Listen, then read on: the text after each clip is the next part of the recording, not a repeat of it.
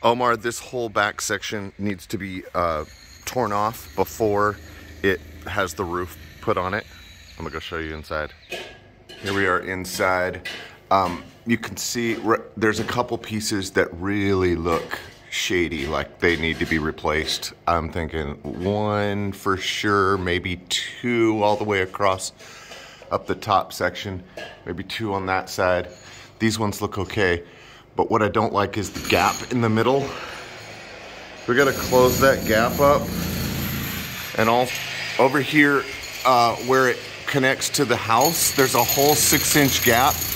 And what I don't want is just a little six inch strip. I wanna take off, take back the plywood. So this one we'll take back because it's rotten all the way across, those two pieces.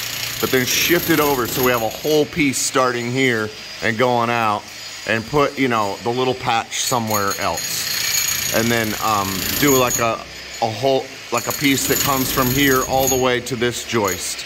And then, you know, so cut back this part right here and install a new piece from here to here.